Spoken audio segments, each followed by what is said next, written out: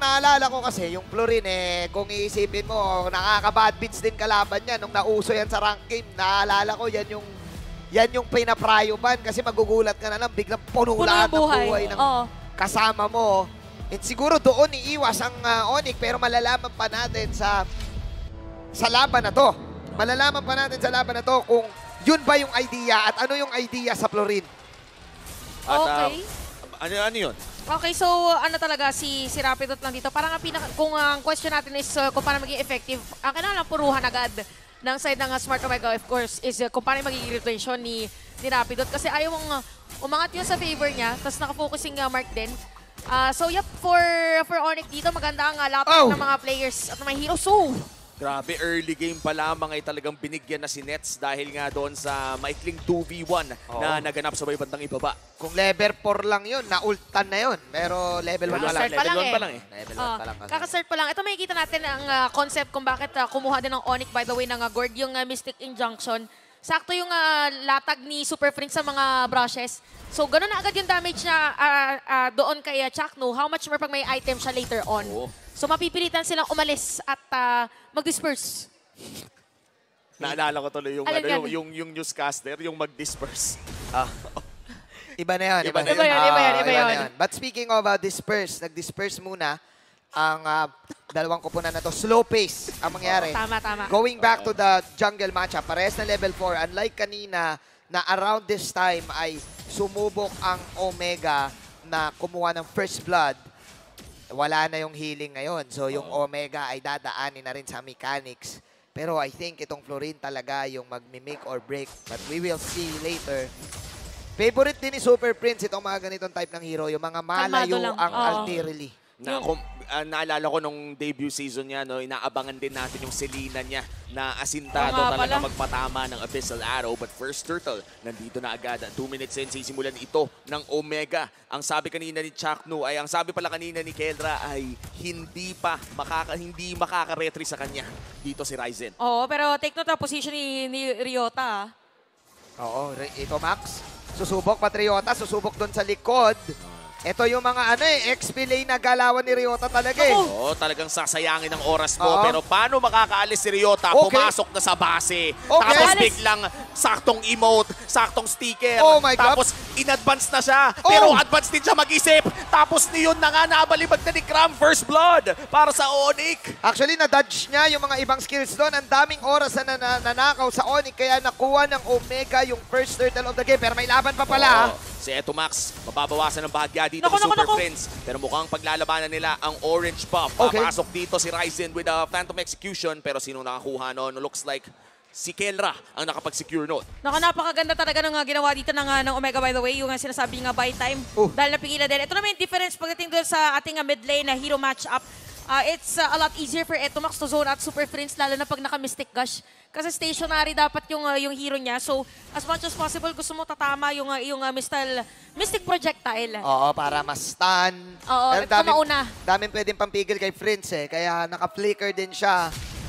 Just in case napigilan siya nung Martis, pigilan siya nung ah, Akai, and yung Pakito. Ang daming pwede pumasok. Oo, and uh, this time around, the Omega pa rin naman ang may hawak ng lead. It's just the first uh, turtle lead na nakukuha nila. Aha. nila and uh, I do think that Omega, they have the tools to pull the trigger. Hinihintay lang nila yung tamang oras.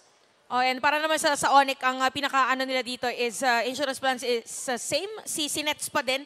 Sakto din yung uh, skill dito ni Rapidot ay uh, nakafocus na sa kanya. So, most likely ang uh, gagawin na dito ng Onyx is hindi mabasagan ng Tore at antayin na tumaba si Nets. This time si Nets ay nakapag-free farm.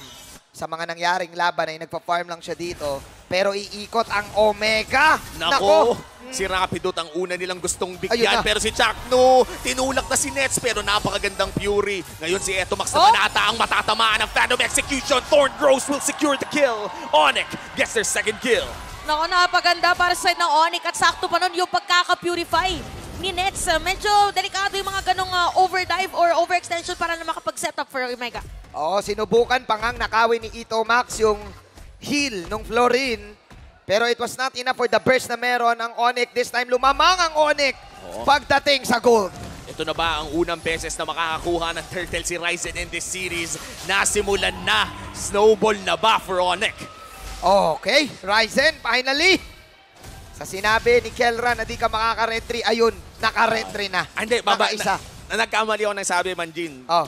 Ang sabi niya, sana maka-retry ka. So, ibig sabihin, masaya Natupad si na Kelra. ang wish. Masaya Natupad pala ang si wish. Kelra. Natupad ang wish. Okay, pero di pa natin nakikita yung sabayang pagbigkas eh. Yung sabayang retry Oo, animation, um, anime style, uh, duo, uh, duel nitong dalawang junglers. But all in all, Onyx is in the lead. Goods na goods si Super Prince. Ito yung mga type talaga ng heroes niya eh. Yung mga ano lang nga, kailangan nasa may likod. Kailangan Likod. nila masipat niya. At ah, mas maganda pa doon is, uh, again, for Super Friends dito, malayo yung range niya, pero yung impact, ang laki. Kahit yung uh, second skill, even yung uh, ultimate niya, and uh, even for, for Onyx, maganda na nakafocus sila dito sa may bottom lane. So medyo naiilang na Oo. si Kuya Jome na basta lang pumasok. O yun yung sinabi natin no, na kokopyahin ni Ito Max. Yung ah, ultimate. Florin din pala siya, no? Oo, inaabangan si Cram. Ay, edit pala. Oh, edit. Oo. Medyo delikado yung ginawa ni Ryota doon. No? Kung natamaan siya ng onward, ah, malaking ah, dagok sana yon sa kanyang buhay. Diretso tore sir. talaga. Diretso Torre talaga. Na, naka, nabuhay ang Onyx after nung game number one. Parang nakapagkapi na. Kulang sa kape yung kanina eh. Ngayon, with the right amount of Ah. damage, grabe! Okay. Okay, nag-heavy spin para din siguro maabutan konti ni Jome, pero hindi rin eh. Oo. Okay, nakapag-wave clear si Nets. Oh, medyo miss call ata mula sa barangay. At ngayon, wala silang heavy spin for the upcoming turtle fight. Pang pangatlong turtle na ng larong ito at mukhang ah, papasukin ni Ryzen. Ay, kinancel ni Kinancel ni- Sabi niya bawal pa. Bawal yan, grabe naman yung cancel na yon, boss. Mamaya muna. Mamaya na. Mumoves na sana si Ryzen doon, pero op! Saglit ah, saglit. Dati kitang teammate. 0-2. Ito yung laro na gusto ng Onyx, yung ganito ka, ah, ganito yung pacing. Kasi in a way, nakakakuha sila dito ng mga magagandang split. Plus, nakakapag-farm ng maganda si Nets. Oo. This is a better game for Nets, unlike nung Iritel niya kanina. Speaking of uh, damage dealt na rin, at uh, speaking of nets, uh, siya may pinakamataas para sa ating game. And even super friends. So as long as there's damage from uh, these uh, players na binanggit natin, mahihirapan talaga ang uh, Omega. But mukhang hindi na yata i-contest ng Onyx yung Turtle. Okay, mauhuli si Cram. Nako, si Cram pa ata ang ununahin nila. Pero may Ooh. Primal Wrath at makakatakas dito. Si Cram, pero Turtle ay mapupunta sa barangay. Parang same yung ginagawa ngayon ng Onyx, by the way, dun sa kanilang uh, rotation. Kasi kanina nang gumagawa din na- ng uh, ibang play ang uh, Omega, nag-split push, nag-split push sila. So ayan, makakasira ng Torres si Nets. Oo, ito yung paborito din ni Nets. eh, Yung tuloy-tuloy Oo. lang na pag-push. Nangyari yan nung isang araw na nakapag-push siya gamit yung carry. And together, of course, with uh, with his allies, ay ginagawa ang banana split na naging variant din ng Onyx for some time. That was Season 8. Nakilala na rin ang org with that type of playstyle. Siyempre, may heal din si Rapidot para ready. So, online na si Kuya Monets. Oo. Kayang-kaya ng sumipa at bumarag. Meron pang Berserker's Fury at ah, kung babalikan natin season 10, ito din yung hero na ginamit niya na naka-split push siya. Oo. Naka-backdoor play kung basta parehas yun, segue. Oo, yun na yun. Oo, yun na yun. Alam nyo na yun. Tapos naririnig pa natin yung Oh. sigaw. Nothing but nets. Pero si Oh. Super Fritz, Flicker hindi umabot. Tapos Buhay yung pa rin. heal. Napaka-clutch naman noon, Kuya Rapido. Okay. Meanwhile, may Ashura strat na gagawin si Kelra. Oh, Kelra looking for the kill. Pero si Ryota biglang lumabas Oh, no! sa may bandang Oh, likod. no! Pinagsasapak. Aside ng Onyx, pero nandiyan na nga yung bola. Masakit na dito si Nets. Oh. Kailangan na ata tumakbo ni Ryota. At hindi nga magiging sapat Oh, yung damage nila. Dahil si Ryzen ay makakatakas. Pero si Kram ngayon ay naipit. Si Kram ngayon ay nanakap. At si Kram ay Oh. hindi natahimik dahil nanahimik na lamang sa sapak ni Ryota. Ang daming nangyaring skirmishes sa laban na yun, but it was Omega getting the upper hand. Susubukan ng Onyx i-withstand yung mga nangyari sa pamagitan ng pag-clear dito sa mid. Ang uh, makikita natin doon sa lane kanina, micro, micro moves para sa side ng ah, Omega. Wala nang buhay si Etomax no moment na yun, pero nag-dash pa muna siya para Oh. regardless ay makapag-deal siya ng damage against Cram during that moment. Pero masasabi natin for Onyx dito, kailangan lang nila i-continue yung ginagawa kay uh, Nets. Parang ano ah, parang may mga moves si Atoy R sa laban na to na, na, na pumipitik ang Onyx eh. Oo. Pangalawa na yun na mula sa likod ah. Iba naman talaga kapag ka isa kang pakito, yung mobility mo kasi, pwede ka manggulat sa may Oo. bandang likod. Oo nga eh. Tsaka insta-kill kasi pa nagkataon, pa, nag, uh, pa nagsabay si Ryota dito at tsaka si Kelra nga pasok. At uh, maging target nila dito either Super Prince or Nets, magiging dagok somehow Okay. para sa ng Onyx. Pag may Okay. nakatago. Ito na yung sinasabi nating retry duel. Si Ryzen ay nakatago pero si Kelra ngayon ang pumupoke sa Lord. Ay makikita natin sa minimap. Magde-decide ang Onyx mag-clear sa mid. Maghaharap si Ryzen at si Kelra. Nagtataguan. Reset muna ng Lord. Level 1 Lord pa lang to, Parang ganito delikado. agad. Oh, nga eh. Ah, ito kasi yun. May Delikado, ah. split kasi na ginagawa si Ryota. Binabanatan siya, okay? Ay! Ay! Ay! Ay! Oh! Natamaan ang onward and shatter combo. And that's a kill going to the hands of Onyx. Pero doon sa may bandang itaas, si Rapid Oh naman my ata ang nahuli. Super Friends, bumabawas lamang na bahagya. But it's a one for one roam Okay. para sa XP. Okay, para sa, sa side ng uh, Onyx, maganda na nakuha nila dito si Ryota kasi yun sana yung possibility for them or yung pinaka-option para sa Omega na kumuha ng kill against them. So magandang sagutan at palitan para sa ating uh, dalawang kupunan. Kailangan lang for Omega ma-push nila dito or ma-force nila si Nets na gamitin muna yung Purify bago sila mag-team fight. And uh, for uh, Ryzen, uh, kailangan niyang uh, tibayan ang kanyang uh, Thorn Rose. Nire-respeto nila yung strength ng bawat isa eh, no? Oo. Medyo oh. kumakate ng onte si Jom, popping that ultimate. But uh, I commend, commended ang both teams na to, the respect na meron. 3-3 tabla. 4v4 ang mangyayaring laban dito sa may Lord Pit. Super Prince popping that projectile. Grabe. Sino nga ba makakakuha ng Lord dito? Retry battle, masesecure ni Kelra. At si Chakno ngayon, kailangan ng tumakas. Kalahatiin kanyang buhay at si Ryzen, hindi matatamaan ng Thorn Throws Chakno dahil makapag-flicker siya. Buhay ata ang Omega, Okay. pero si Kram, galit na rin. Pumasok with a Phantom Execution, Ooh. pero buhay pa rin si Eto Max. Onyx, Philippines, susugod dito sa may mid lane, pero Omega ang nakakuha ng Lord. Tapos, uh, by the way, nung uh, moment na yun, nakita natin bumili din si uh, Ryzen ng uh, Thunderbelt. So, more on slow ang gusto nilang gawin dito. But uh, again, for Omega, nakuha nila yung Lord. Ang magandang positioning for them. Pero dahil Bruno ang uh, marksman Oo. ng Onyx, pwede silang mag-go after an objective Yes, fight. and that was a, if I'm not mistaken, level 1 Lord.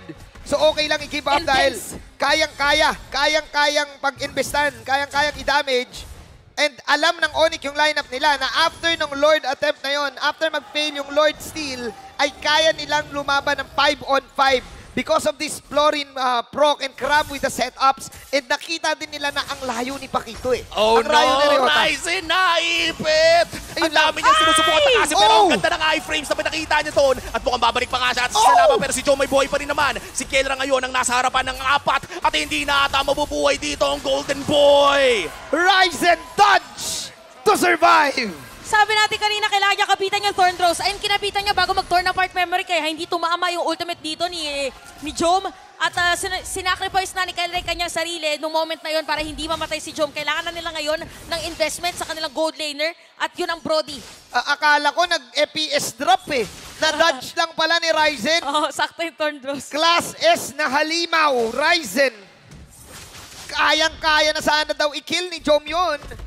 But then again, with the moves on this Lancelot, lumalamang Oo. ang Onyx sa laban na to. Bahagya. Oh, pasensyoso din eh, no? Im- Imagine mo, iniipit ka na ng isang akay. Parang Oo. kung ah, regular na Lancelot player ka, pinipindot mo na eh. Oo, Nandun nag- na yung kamay mo sa Thorn Throws eh. Sikad skill na sikad skill ka na, pero sa kanya, tinimingan niya talaga ng tama. Alam niya meron pang ulti si uh, si Joe nung uh, moment na yon and uh, we have to credit yung uh, healing na din from uh, Rapidus during uh, that moment. So uh, as of the moment para dito sa, sa side ng Onyx, very effective talaga na naka-quantum charge din si Nets kasi kahit Isipin mo, kahit uh, targeting ka ni Ryota, pag mag-hit ka lang na mag-hit, yung movement speed, parang pwede mong iwasan mismo yung mga suntok. Oo. Tapos sisipa ka lang na sisipa. Nararamdaman na ni Ryzen ang energy. Nararamdaman niya na ang kanyang pagiging super saiyan, super class S na limaw in this game. Plus yung damage output ni Nets and ni Super Prince. Ito na ba ang Onyx time? Kasi finally, after game number one, ay nagkaroon ng klarong lead ang Onyx sa game na to. Confident na humaharap si Nets. Confident siya sa support na binibigay ni Rapidot. It's not about the initiations, it's about the front lines na harapin natin to 5 on 5. Kanina hiniling nyo kami, ngayon kami naman. Super heal kay Nuts to eh. Oh. May bloom ka na, naka-quantum charge ka pa, naka-haas close ka pa. No. Di ba pag patong-patungin mo yung tatlo, mag-hit ka na na talaga. Free hit ka na. Kada bato niya ng bola eh, no? Babalik lang din, tapos may Oo. mag-heal pa rin sa'yo. Okay lang masaktan basta makapag ah, maka- manakit ka din. Oo. Babalik naman ang buhay mo. Ah, in-game po, wag sa labas ng laro. Spell bump. No. Spell bump. Life steal. Life steal. steal, Oh, tama. Life steal. Life steal. Practice lang. Kaya Practice kailangan lang, nyo ayusin practice ang inyong lang. lifestyle. Oo. Lifestyle. Oh. Lifestyle. At dinadaan Galing, galing. lang ni Nets sa lifesteal. Plus, meron kasi siyang purify. Oo. So, hindi makapasok agad si Ryota.